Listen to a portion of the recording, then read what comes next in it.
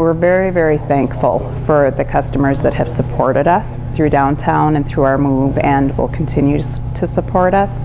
St. Cloud Floral is getting settled into its new home in the Midtown Square Mall. It's a little scary because St. Cloud Floral has been downtown for pretty much all of its existence. Owner Rhoda Paris says although they love being a part of downtown, it was no longer meeting the needs of their customers. The parking got a little difficult for the people that wanted to run in and grab something and run out. So we're really, really excited about this location.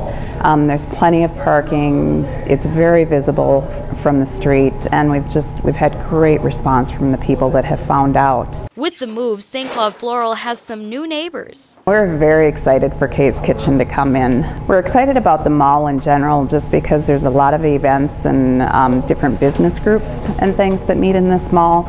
The holiday season is right around the corner. Paris says they will be hiring. Stop in to apply. St. Cloud Floral was established in 1912. Chrissy Getke, WJON.